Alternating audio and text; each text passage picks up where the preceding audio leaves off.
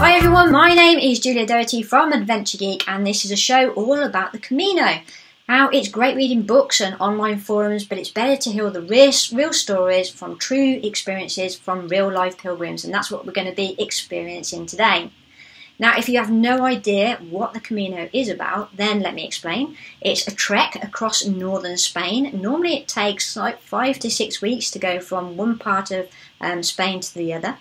Um, and it's been around for thousands of years, and pilgrims walk to Santiago de Compostela, where the remains of St. James, which is Jesus' apostle, is said to have been buried. Originally, this is uh, this journey was a religious adventure, um, and to this day, it still is for many people. I don't know if it was for you, Norman. We'll soon find out. Um, but you know, there are lots and lots of different reasons as to why people walk the Camino just through um, you know complete transparency, just let you guys know that this is a pre-recorded show. Um, but we're both here to answer any of your questions. So if you've got any questions, just leave them in the comments below, uh, and we'll respond to them. So without further ado, let me crack on, and I'm going to introduce today's guest. Hello, Pilgrim. Hello. this is Norman, Norman Stephens, who's a teacher from sunny California. Uh, he spent time walking the Camino in 2018, so he was with us on our last stretch. In fact, I think I walked with you the day before uh, the day I got into Santiago. I remember that walk very, very well. So Norman's quite organised with your gear, if I remember rightly. All your all your pack was all quite well organised, and you, you knew all about weights and stuff like that. And I reckon that was probably because um, you'd done a little bit of the PCT, and I know you're going to be doing a little bit of the AT next year. Is that right? That is correct. Yes. Okay. So for people who don't know, what is the PCT? The PCT is the Pacific Crest Trail that runs from Mexico to Canada along, well, following the crest of the mountains. So it's a bit like that. It's a bit of up and down. There's some desert walking as well but it mainly tries to follow the natural elevation of the mountains. Not actually cresting the peak of every mountain, of course, but just following the general path of the mountains. Absolutely. So, um, if you've ever watched the film Wild, have you seen that? I have seen that. In fact, I was one of only two people, I think, on the PCT that liked the movie Wild. I have an intense hatred uh, because they felt it was not about the PCT, and I would say that's true. It's not. That's true. that's not. That's not what it was about. But if anything, it's a bit like the film The Way, isn't it? For the Camino, it, it just and you know, Wild in the Woods, or no, Walk in the Woods for the oh, AT. The Appalachian Trail, certainly, yeah. Well, I was just going to add, Wild is about a woman recovering from her mother's death, which is really the point of the movie. So, yeah. Um, in the Woods, good movie. Uh, again, there's people on the AT that hate that movie uh, because he claimed that he was a through hiker when in fact he only hiked a portion of the AT. Just ah, a section. Movie after a while. so right, I'm going to take you right back now. So when did you actually first hear about the Camino? Can you remember that day, or how it happened? I. I do. I do remember that day. It was a cold, wintry day. I, it was actually a podcast similar to this. It was Rick Steves' um, travel podcast. Rick Steves okay. organized trips mainly to Europe. And people called in, and a woman called in about the Camino, and it sounded intriguing. And that was about 10 years ago. And then, of course, the movie The Way came out, and that was the the movie that really put the hook in me. So the, the movie The Way made me say, yes, that's it. I want to go. So, I mean, did you feel called to do the Camino? You'd obviously heard about it a few times, and it's obviously kept nagging somewhere at the back of your mind. Oh yeah, yeah, absolutely, I did. Um, I had to cancel my first planned trip. I had taken time off from work, and I had to cancel that. Uh, my father got ill, so I decided to stay home and take care, and he got better. Okay. Um, so I decided instead to use the summer vacation. I'm a teacher, and it all worked out perfectly. But yes, there's certainly a calling. People hear about the Camino, they get inspired or at least intrigued, and I did. So I'm very glad I did it. I'm very glad I met you. Hey, vice versa. I'll pay you later. so, have you got family at home? Like a, a wife and kids, or? I have a, my wife who lives here in sunny Inyokern, California, uh, which is in the Mojave Desert. And I uh-huh. have my sister up near San Francisco, a town called Mill Valley, and my sister lives in that town as well. Okay, so how did your wife feel about you disappearing for, you know, five, six weeks? Well, that's a good question. Um, well, she was sad, but she was also quite supportive.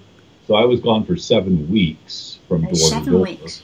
Seven weeks, yeah. Um, I'm also a very lazy walker as well. So there's that. A lazy walker. What's a lazy walker? Well, I didn't have a set agenda every day. I had unlimited time, so I took my time.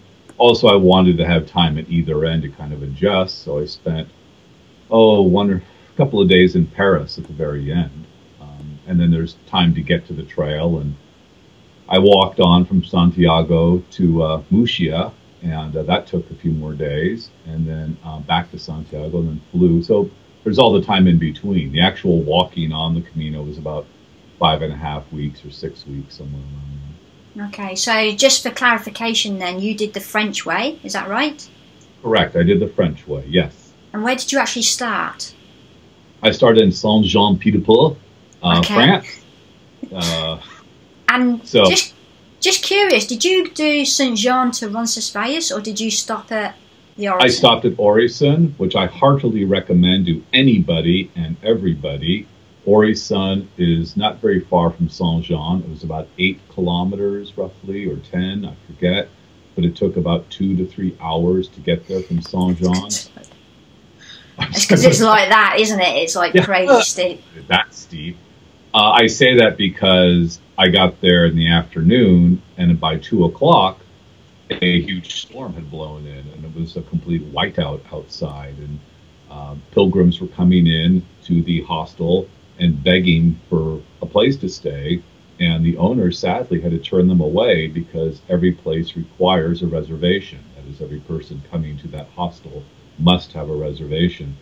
I don't think that's cruelty. He just has a limited number of beds. Yeah. Um, so I recommend it because the first day, many people have said, can be the hardest trying to get from Saint Jean over the Pyrenees and down into Ronson, Ronson's Valles. So I thought, why do that to myself? And um, it's a good idea, so I recommend it. It's not a race. and did you enjoy the? Did you have the pilgrim meal at the Orisson? I did. I typically had the pilgrim meal whenever I stayed at a, at a refugio or an albergue, and it was pretty good. Um, yeah. By the way, anybody contemplating the Camino, be sure that you like bread. Yes. Bread and sausage. Bread, yeah, mainly bread. I found. Bread, yeah. I must admit, it's everything's bread. Breakfast is, you know, French loaf cut in half. French loaf cut in half, and after a day of walking, it's pretty tasty. Uh, one time, a lady gave me a sandwich that was bread with a little bit of tuna inside, and I thought, I'm never going to eat this. I'm tired of bread. I ate the whole thing at the end of the day. It was delicious. So when you're at the, when you're at the Orisson, they do you lunch for the next day. Um, well, I, that's what we had, like bocadillas, like right. which is bread. you stayed at Orisson as well. You were at? Orisson as well. I've, I've stayed there twice. Yeah, Oh, twice. Okay. Well, I can interview you now. Do you recommend it? I definitely would recommend it. Yeah. So and order the, order the order the lunch for the next day. Uh, Otherwise, there's nowhere to sort of resupply. Um, Good point. Yeah, that's a great point. That's true. Yeah. Um, some days there's a gentleman up near the summit of the Pyrenees that has a little coffee stand with some sandwiches, but I wouldn't rely on that. Uh, he was there when we, but I don't think that's a good way to uh, plan for going over the Pyrenees. Well, I, I did I- it once in May and once in October, and that guy was there in the May one, but he wasn't there in October. Oh, And I was relying on it as well, you know. Well, not relying on it, but it was like you know it was going to be there, and then I was dis- so disappointed when it wasn't. So, Absolutely. Yeah. So talking of the bad weather over the Pyrenees, d- what sort of rain kit did you have? Did you have a poncho or did you have a rain I had a jacket? rain jacket. Yes, I had a rain jacket. I also had a um, down pullover anorak, you know, puffy jacket for warmth, and I also had rain pants. And Okay. I used every item of clothing that I brought throughout the Camino. Okay. So you didn't do the poncho thing? No, no, I've had bad luck with the poncho earlier. The wind just kind of kicked it up and blew it around, so I didn't care for poncho. I tend to sweat more in the poncho, I discovered. So whatever system works for a person. Okay. So, um, so talking about the Camino, then, as we were saying, some people walk for religious reasons, spiritual reasons.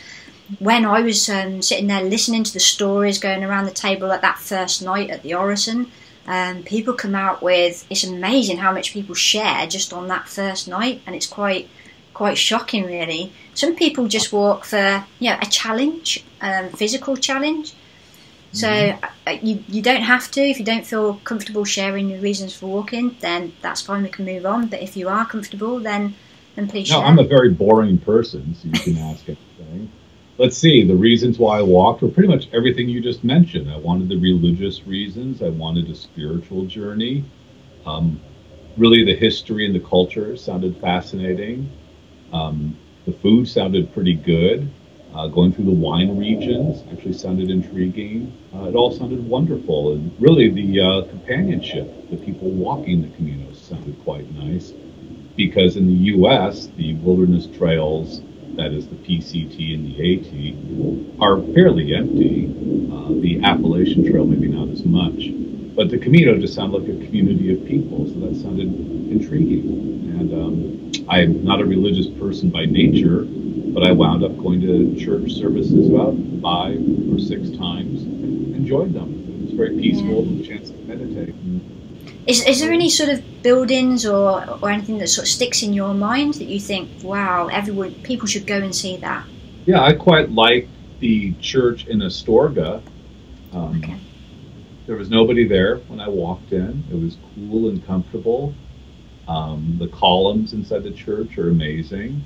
And a family came in after I'd been there for about 10 minutes, and the children were very well behaved. But I found the church beautiful and light and airy. And then you have me thinking now about church services. I recommend, strongly recommend, everyone attend the pilgrim service in Roncesvalles, uh, which I found quite beautiful and historical. Yeah, I think the um, when when we talk about churches, there was one particular um, episode that happened with me in Los Arcos. Do you remember Los Arcos? I, so I, I get in. I I was there really early. I think I arrived about twelve o'clock or something like that. Um, and a lot of my Camino family were walking on, but I was really tired. So I said, Well, I'm stopping the night and I'll catch you up the next day or whatever. This is when I was walking on my own. So I wasn't with mm. Rachel or, or anyone. And I thought, oh, well, as I'm early, I'll, I'll, go into the church. So I went into the church and I sat there. And I don't know how long I was there. I think I must have been there a good hour or so. Uh, anyway, I felt I was there. There was nobody else in the church. I was there on my own. And then I felt this tap on my shoulder. And the priest, when I turned around, it was the priest. And he says in, in his Spanish accent, I'm not going to do a Spanish accent. But he said to me, uh, how, how did you get in the church? And he was like looking at me all querying. And I says, well, you know, I, I walked through the door. How else would I get in the church? And he says, no, you didn't. And he was quite accusing. And uh, I says, well, that's exactly how I got in. He said, it's been locked since 10 o'clock this morning. And he had to let me out. So I have no idea what happened there. But then he took me to the door, and there must have been about 10 locks to let me out the door, which was mm-hmm. really weird. So I don't I don't know what happened there, and I don't know how long I was there. I th- I'm sure I was there at least an hour, just sitting mm-hmm. there, not really knowing where time's going. But that was really strange. Did you could do the senior moment for the priest? I suppose he could have been uh, counting wafers in the back room and simply forgot that he left the door unlocked. Who knows? Yeah, I I don't remember walking in, which is the weird thing as well. But I don't, I don't, I don't know. Anyway, um, so did you do the pilgrim mass in, in Santiago? I did actually. I did it twice. Oh, did uh, you? Because, because when I got there and actually seeing you in the plaza was one of the happiest moments of my life. but uh, I went there uh, after I took a shower, which I recommend as well for your fellow uh, parishioners. But um, I went there the first time. I believe it was yeah weekday very excited because I couldn't wait to see the Botafumeiro fly by. That is that incense covered device. And that sounded historical and uplifting. And um, as the service continued and we started winding down the service, I looked around and people realized we were not going to see the Botafumeiro and I've never seen so many angry pilgrims in one room. Yeah. Boy, were they disappointed. And it doesn't swing every day. There's no announcement of when it will swing. So I chalked it up just to one of life's mysteries. And the next day I continued on um, and to Muxía and the coast to the Atlantic. And then realized, wait a minute, if I come back now on a Sunday, I bet on a Sunday I'm going to see that Bota Botafumeiro swing. So I got back on a Sunday, had time to check in, shower, change my clothes, ran to the church. Uh, it was packed, but found a place to stand, and the Botafumeiro swung. And it was beautiful. It was great. So if at first you Go don't on a succeed, Sunday. keep hanging out around that church, and you will see the Botafumeiro swing. Fantastic. Did you go to Fisterra as well, or just to I did, yeah. Uh, it was there in Finisterre that I ran into, what's the guy from Ireland? What's Dara. Dara, who I saw where I Yeah. saw, and I also saw Lara in Finisterre and had a delightful lunch. And Lara, uh, side note, Lara's a lovely Canadian woman that I met the third night on the Camino and saw sporadically, and then poof, she kind of vanished. Uh, and I didn't see her for about four weeks, three and a half weeks, and walking back from the Cape, who do I bump into but Laura? It was wonderful. We had lunch together the next day and caught up. We did the same because me and Rachel took. We had a road trip, so we hired a car from Santiago because we only had like a couple of days, uh, and we went to Fisterra. We left Julie in Santiago. Uh, and then when we got there, um, we then caught up with. Do you remember Anita and Denise from California? Yes. Those teachers as well. Right, we, we had dinner with them. It was a fantastic in Santiago. Yes, it was fun chatting with them. Yeah.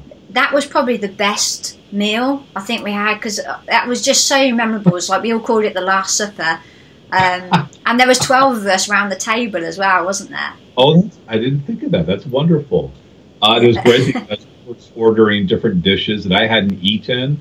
So I thought this is a culmination. Finally, I'm eating Spanish cuisine, not just bread. This is great. And Bread and chips. You organized it. Thank you so much. That was fun. I, I don't think it was me. I think I don't know who it was that chose. I just went along with the crowd, but uh, Probably Sue who did the guiding. Saying, probably yeah. She she she's the organizer. So I mean, did you did you speak Spanish? Un poco. Uh, very little. And um, not only that, I didn't have a cell phone with me. Um, I Didn't had have a phone- cell phone. No, I didn't have a cell. I was given Shock a phone. horror. I know. Just how did I live? How did I breathe? I had a very poor cell phone. By that I mean it was given to me by a cell phone company about a year ago, and I thought, great, this is a cell phone, but it doesn't work very well. There's no memory in it, so I can't load any apps on it except for one that my wife put on called Line, and we were able to talk to each other for free on that. But I never Okay. bought a phone chip in Spain, so I couldn't make phone calls. Um, I don't know cell phones very well. Anyway, the, and the camera could only take maybe one photo before the memory was overloaded, so it was useless. And um, I wound up having to ask the baristas if they would please call for me for different services, and I would just wind up giving them a euro or two, and everyone seemed very happy. So I say all that because I didn't speak Spanish, but I don't know if it would have mattered because um, if I needed a service, it seemed easier just to ask the person at the bar if they could help me, and they would make a phone call in perfect Spanish. Cool. I mean, so if you didn't have a cell phone, most people using their mobile phones doing the, on the app, the Bon Camino app. So you didn't do that then. So was you having an, like an old-fashioned guidebook? Yes, I shouldn't say old-fashioned. That's this not. interview, I pulled it out, which I, which I thoroughly recommend. Ah, okay. That's a different one. It's not the John Brierley one. No, no, I had the Brierley and looked at it. This one I think is well quite good. So, Is I that recommend. written by Johnny Walker? It is written by Anna Dintaman and David Landis. Okay. So does that give information of albergas and stuff like that? Yeah, see it. Is perfect. It gives information on everything. So there it is listed for our viewers. Um, and is listed here and in, town information here. Um, I thought it was very well organized and um, makes for a very good read as well. Okay, so you can learn about where you're going as well as everything Yeah. else. Okay. Yeah. Right, I'm going to ask you the quick fire round questions now. You ready? I'm just going to start at the top. Okay, right. Let's talk gear. Do you recall the weight that you carried in your pack? Yes, I did. Oh, do I recall? I thought you said did I recall? Uh, I recall the weight. It was 16 pounds. 16 pounds. Now that's not including water, though. I did carry a lot of water with me, so that was just my gear. Okay, so that's another question then. So, water, are you a bottle person or are you a hydration pack person? I carried a um, Nalgene bottle, which I would just fill from the taps, uh, even from the restrooms. Even after someone had just exited the restroom, uh, male or female, I would turn the tap water on bravely, and I never once got sick. So that's another thing is like some people say, oh, you should always filter your water, but actually, I don't think I didn't see anybody doing that apart from one couple that were camping. They were filtering their water. Do you remember the guy that had the wheelbarrow? Yes, I, I I do. Yes. and they had Yeah. loads. They had loads of gadgets and stuff like that. And one of his luxury items was a water filter. I guess if a person were camping next to a stream, and filtering water would be a very good idea. But the water from the tap all seemed um, potable and and sterile and fine. And at the town fountains, they had areas where they would indicate that it's drinkable, and other parts of the fountain where it was very clearly not drinkable. So stick Yeah, the signage was Sign- good, wasn't it? pretty it? good, yeah. Um, Yeah. so it's clear. So no, I don't think there's any need to purify the water. So, uh, did you carry a sleeping bag or just a sleep sheet? I did carry a combination of the two. I carried a quilt, so it's sort of like a top sheet of a sleeping bag, and I did use that um, every time I stayed in Alberge. I did pull that out and needed it for warmth, even though everyone said you'll never need that. Well, we walked in May and June and July, and it got a little cool at night. So I was Yeah, it did. I think this is a record time of it being that cool. Oh. It's un, it's unusual. I think literally the week after we got back, it, this the heat just suddenly rocketed and it went into late forties. But most of the time it was in the twenties. Oh, I'd recommend bringing one, and then if you don't use it, leave it behind. Some other cold pilgrim may be able to use it someday. It wasn't very expensive. I did also bring a sheet that was treated with anti um, bed bug, anti flea um, preventative um, spray, and that I wound up giving away at an alberge. Oh, like in week one, just I wasn't using it and didn't seem necessary. And no, I never got a single bed bug bite, uh, but I didn't use No. sheets. Did you ever hear of anyone on the trail as well that did get bitten by bed bugs? Oh yeah, yeah, a couple of people. In fact, I one that you know. Really? I should be better with the names. If only I had a booklet with people's photographs and their biographical information, that would be lovely. Kidding, Uh, since she did all that, and I can't wait to get my copy. Um, I forgot her. haven't done that yet. Well, I, from Canada, um, Oh, Emma. Emma. Yes. You, Emma had horrific Right. Bites that were so severe she had to go to the hospital to see a doctor. She. She had allergic reactions. Um, I ran into another woman from Canada. I don't think you met her from Prince George. She had some bed bug bites. Um, seemed like I ran into a handful of other people that had a bite here or there. So Right. I, I didn't see anybody on one of the trips. One of the girls did, mhm. um, and that she was in the same hostel. it Just happened to be on her bed than none of the others, Huh. uh, which was a bit strange. So she woke up. The only thing I got bitten by was a spider. I got bitten by a spider um, on the fir- very first trip. It made me quite poorly. Uh, apart from that, I haven't had any of the. We're, tr- we're putting people off here, aren't we? Should we, should we change the subject now? No, because bed bugs are discussed. Bed bugs, blisters, um, hangovers, those are all discussed. Um, I, now, if I could just ask you a question, did you check your beds for bed bugs before you uh, would use the beds? Did you ever? Yeah, it was part of my routine. Really? That was. Okay. Yeah, did you not do that? I just flop my. I was so tired. I just would flop my uh, gear down and go take a shower and forget about it. So just wondered if you did a thorough check and if you discovered anything when you checked. No, I don't, I don't recall seeing anything, but yeah, we did. Some of them, most places were quite clean. I, I thought they were wonderful. They were fantastic. Yeah. I, in fact, we stayed because we started on the last one from Carrion de los Condes, um, and like the first four days, they were brand new hostels. Whenever they just seemed to have popped up. Uh-huh. So on the outskirts of town, and sometimes there was only like four or five pilgrims in these like big brand new brand new hostels. Oh, It was great. That's wonderful. I stopped staying at the hostels um, about halfway through. I opted for private rooms, so those cost about oh 10 to 15 euros more than the hostels. So um, I just made that decision because I felt like I wanted some privacy after a while. Well, I I think because there was me, Rachel, and Julie, so we would probably do the same. So there was we say at a private room, but we're a private room for three people, Oh, okay, right, right, right. so, and like with one bathroom for all three of us, rather than bunk bedrooms.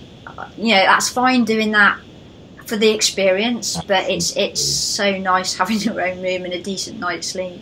Yeah, absolutely. I mean, you can tell your viewers sometimes the bathrooms are one floor above or one floor below. Sometimes sharing a room with seven other people uh, on bunks just gets to be a bit tiring. Um, but just try it. Different cultures, Different cultures, the, the cult. different expectations of privacy, uh, and how to. The Europeans don't mind they they don't mind the nakedness, do they? I didn't see any nudity, and I certainly never uh, pranced around nude. Um, I thought people were very discreet. What I noticed is, um, well, I'll just say at one time a guy came in and without even showering took off his shirt and hung it on the bed railing above me. Um, so a sweaty shirt laced with nicotine from a guy who'd been walking for eight hours wasn't the best way to begin my nighttime sleep pattern.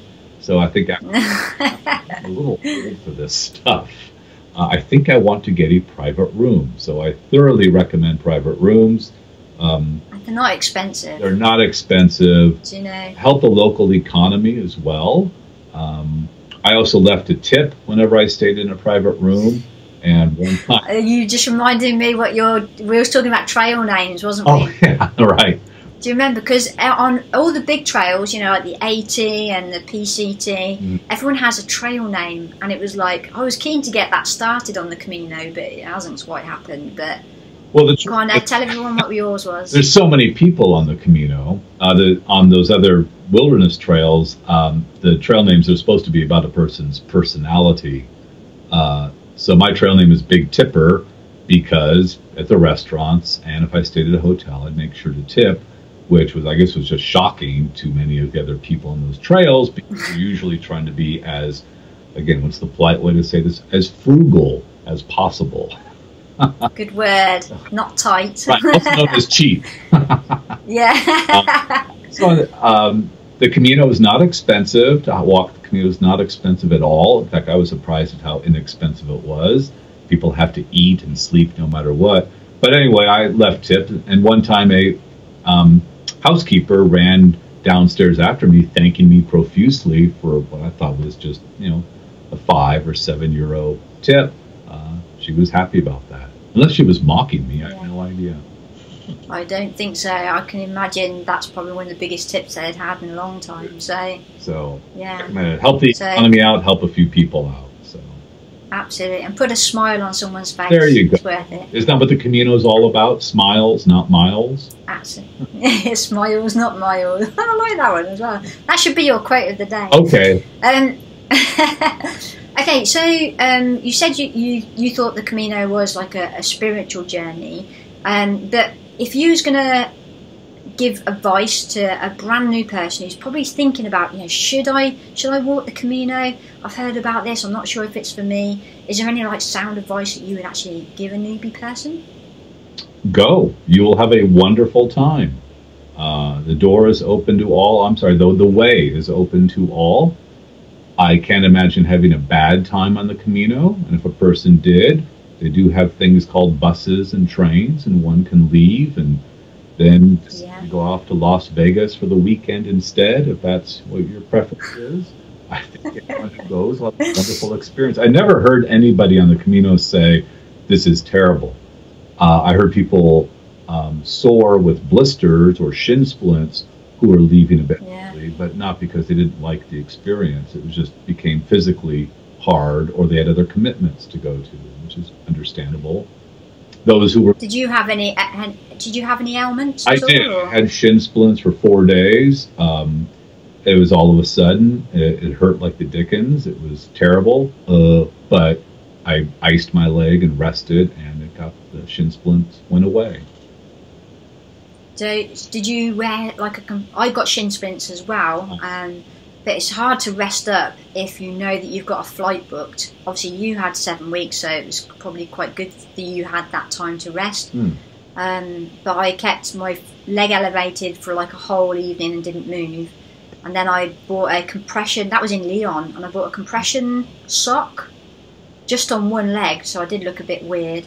Um, and that seemed to do the trick. But yeah, it's, you've never felt pain like it. Every time you put your foot down, it was like your the front of your leg was on fire. Yeah, I thought Yeah, I'd it's not- a muscle. Uh, it was horrible. I haven't heard about compression socks. That's a great idea. Uh, all a person can really Yeah. do is rest until a person heals enough. I looked it up on what a person should do for shin splints, and it was not walk, which Yeah. very when you on the Camino, that doesn't help at all, does it? well, back to the bar then. I, oh, I can't walk to the bar. I guess I'll crawl. So, So what what did you think to the wine? uh, you know, the wine was pretty good. Um, that's a great question. I like wine a lot. I do drink wine, and I thought the wine was good. But I, let's see, where was I? I was in Burgos and um, went to the tourist office, and a gentleman there had lived in California in Lake Tahoe and had studied the wines, and he was fluent in English. And he sat me down and gave me a whole wine lesson about Spanish wine. fascinating. And his the main message was when you can try to get the Gran Reserva, uh, or if you can't do that, order Reserva. And he was exactly right. For another euro, uh, one could get a glass of Reserva at, at some places, not all. And I thought there was a dramatic difference in the taste of the wine between the um, standard Rioja and then the Reserva, which I found far more flavorful and tasty and a much better body. Did you have a an area of the Camino that you, you liked more, like the Pyrenees was, or Meseta, or you know, which, which area? You know, they all had their beauty. Um, I don't know. You know, the Pyrenees are beautiful, but storms came in and it rained like crazy on the second day coming down the Pyrenees. Well, I'm sorry, the third day leaving the Pyrenees, and the trail was just a river. The Meseta, everyone um, seemed concerned about the heat. I didn't think the heat was bad at all. Um, of course, in the late afternoon, yes, it was very hot, but um, nothing tragic. And in the end, there's a lot of anticipation at the end, so it's all good. Um, Yeah. I had heard that uh, the, some sections were more industrial, and that is true. There are some sections that are more industrial. Going into the cities can be a bit um, discouraging with the industry and sometimes bewildering because I often got lost going into the city and out of the city. Okay, as in lost the arrows. And, Yeah, lost the arrows, and and that's when I was really jealous of people who had cell phones that could say, "Oh, I'm, I'm right here. I need to go over there." I didn't have that. Uh, I asked um, police officers to help me out, and they did. I asked locals to help me out. They were very accommodating, and it was.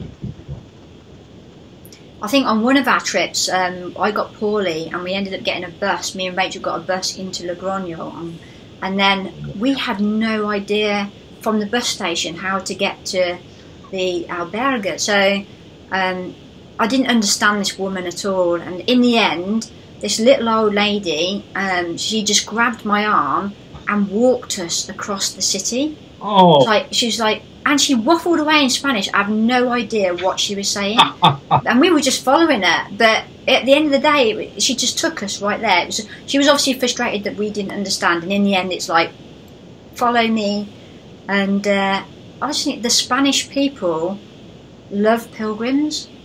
Yeah. It's not like an inconvenience to them at all. They they embrace it everywhere you go. It's like Bon Camino, bon, and they must get. You'd have thought they got fed up of it, but it's not at all. I suppose the it's it keeps their country alive. I suppose for that for certain villages anyway. Sure, everything you say is, seems so uh, accurate and reminds me of other experiences. But yes, I think the people are very accommodating. You know, they've seen pilgrims come through for a couple of hundred years now, so they're they're fairly used to seeing people with backpacks looking lost. Uh, and I think it does a lot for their economy and their national image. So, justifiably so. Um, so, you know, getting back to your original question, does a person need to speak Spanish? Or I guess your question was, did I speak Spanish? Not a bit. It certainly is nice. Uh, few, uh, few key phrases certainly go a long way, like muchas gracias and um, lo siento. Cafe con leche. Yes. uh, but sign language can also work these days. Of course, there's the phones with the apps, where you can just mumble your expression in whatever language and instantly translate it into an uh, audio form of Spanish. So it's not necessary, but it it helps.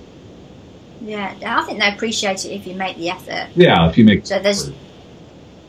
I used an app for uh, nearly a year to learn a little bit of Spanish called Duolingo, and uh, so you just do a little bit every single day. Uh huh. So I, I had I had a, a I could get by in Spanish, but then you know most of the time it was on one of the occasions I was walking with a guy called Eric from Holland. He spoke fluent Spanish. Then I was walking with Sue Uh huh. and Anna, and they both spoke fluent Spanish, which was just brilliant. So you, you get a bit lazy and you just ask other people to order for you, which is not necessarily a good thing to do. But Well, I don't know. I mean, that is nice just to have a friend who can do all the uh, questions and answers in Spanish. That is convenient, though. Um, that is true. yeah. So I'm going to ask you two more questions, okay?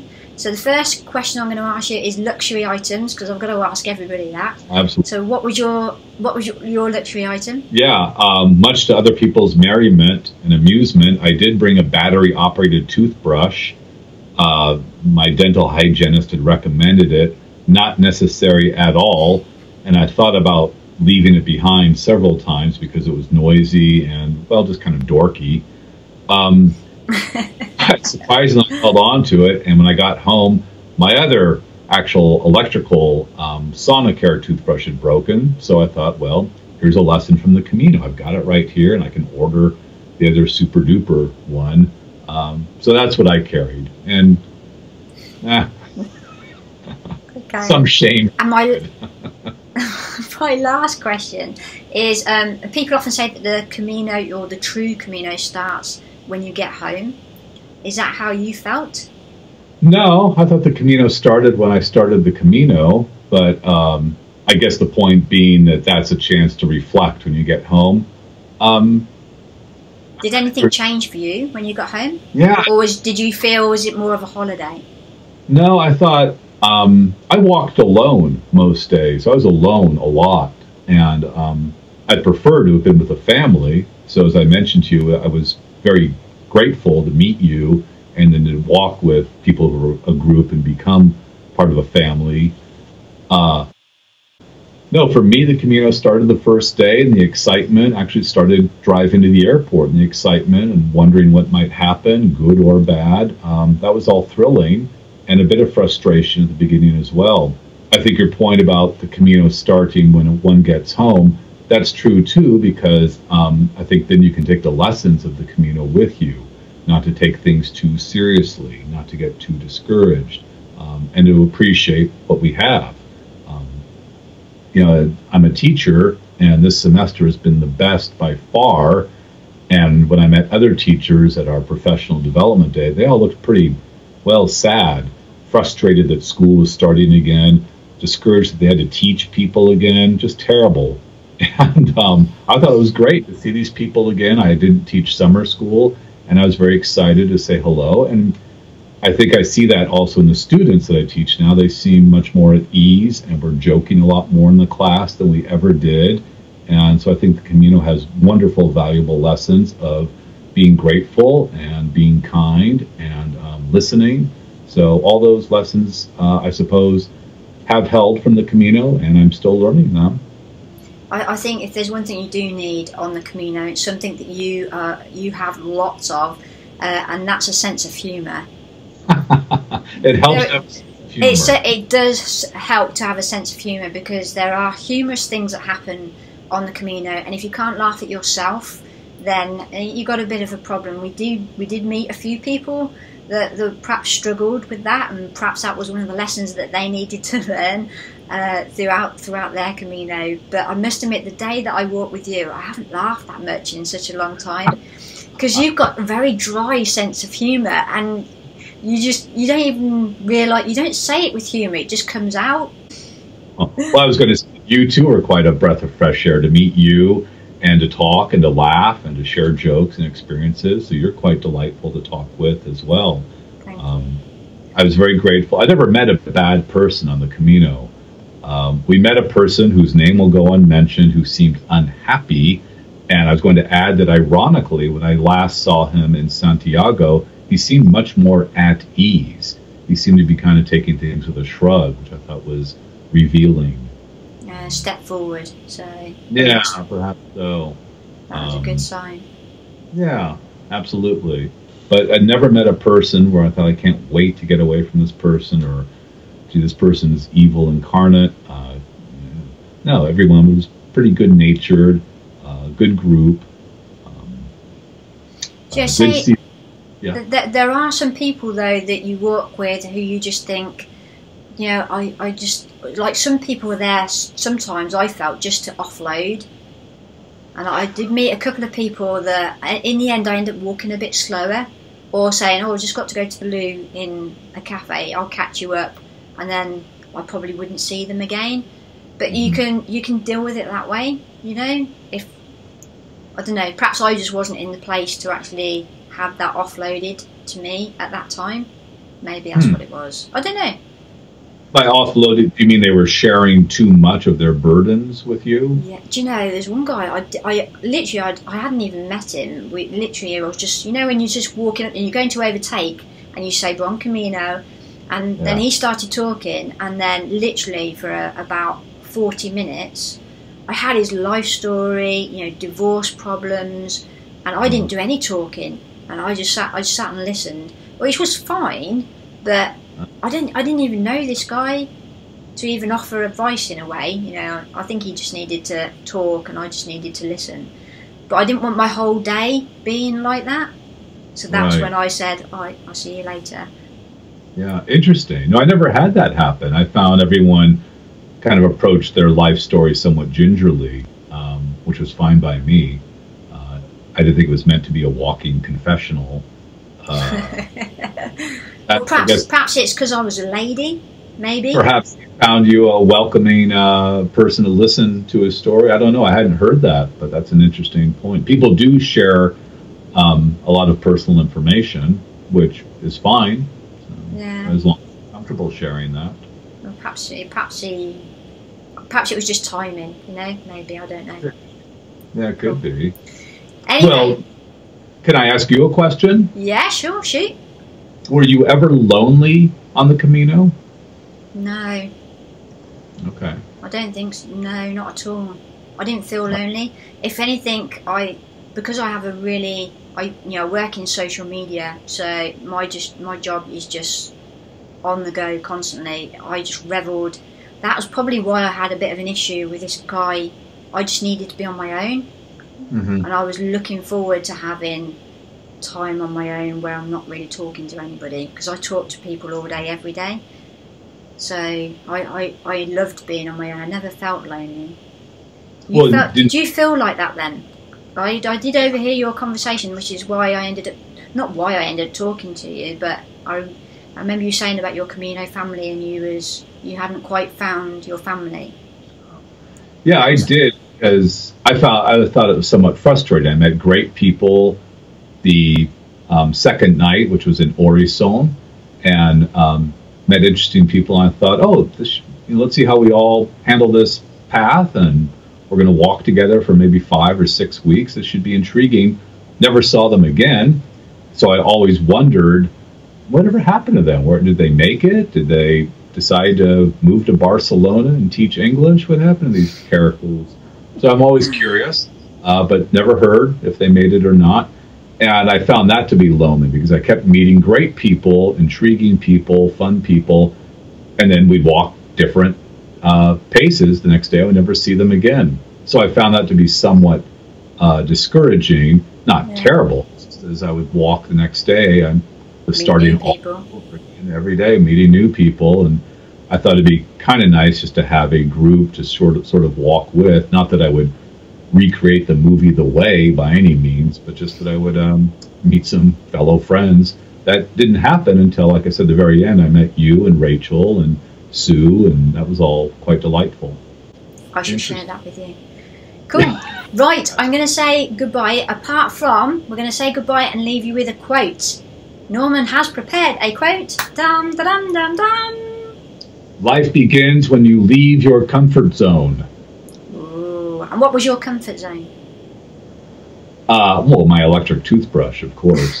um, I don't know. I found out on the back of a fortune cookie. Um, let me think. Uh, when did I leave my comfort zone? Well, probably when I got shin splints was about the most miserable uh, I've been in a while, and uh, getting over the shin splints, life felt much much better after that.